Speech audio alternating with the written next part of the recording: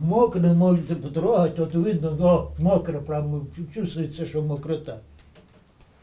Вона десь впітала туди вже ту воду. Михайло Кир'янов з розпачем розповідає про побутові умови, в яких доводиться жити останні декілька років. Стіни та стеля в одній із кімнат його оселі на останньому поверсі цегляного будинку на проспекті Миру 17 поступово вкриваються грибком.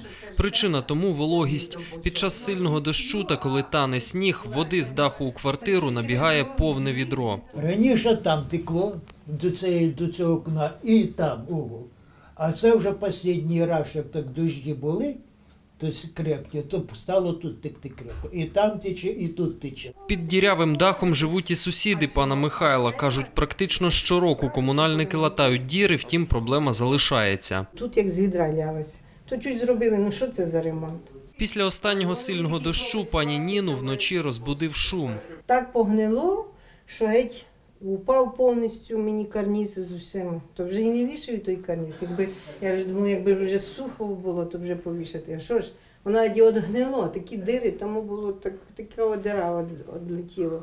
Серйозно протікати дах будинку на проспекті Миру 17 почав 8 років тому. Можливою причиною місцеві називають кабельників, які звикли самовільно прокладати свої комунікації. З тих пір кутові квартири у третьому під'їзді затоплює регулярно. Сприяє цьому і ось така величезна діра у стіні будинку, з якої випадає вимита дощами цегла.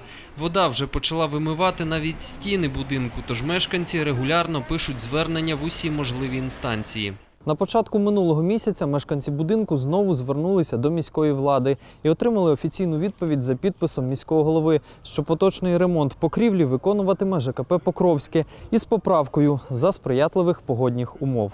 Начальника житлово-комунального підприємства Покровське знімальній групі на місці застати не вдалося. В телефонній розмові Олег Бездіжий, втім, повідомив, що з проблемою мешканців проспекту Миру 17 знайомий.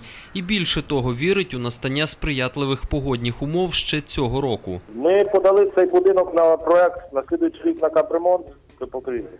Проект включення його на капітальний ремонт. Буде він включений чи не буде, то я не знаю, це не до мене. Але ну ми постараємося що в цьому році ці три квартири закрити, поточний ремонт провести. Бо вони є на контролі, це будемо так казати, один із е, декількох будинків, який залишився, ще не виконаний в цьому році. Було б непогано, каже Олег Бездіжий, якби мешканці також пішли на зустріч комунальникам і ліквідували заборгованість із квартплати, яка складає 7,5 тисяч гривень. На цьому акцентують увагу і в управлінні житлово-комунального господарства, адже поточні ремонти виконують саме за рахунок внесків мешканців конкретного будинку. Якщо мешканці вчасно платять в повній сумі, відповідно е, ЖЕК доглядає за будинком, за мережами, внутрянкою, в тому числі за покривлею. Можливо, на цей час він вже якісь там роботи виконував і ті внески, які вони платять квартплату, використав. Тому потрібно знову накопичити гроші, щоб знову провести ремонт. Або, можливо, є квартири, власні квартири, які не платять квартплату, то необхідно їм заплатити свої борги, щоб виконали роботу. Роман Свирида, Назар Мідріган. Інформаційна програма День.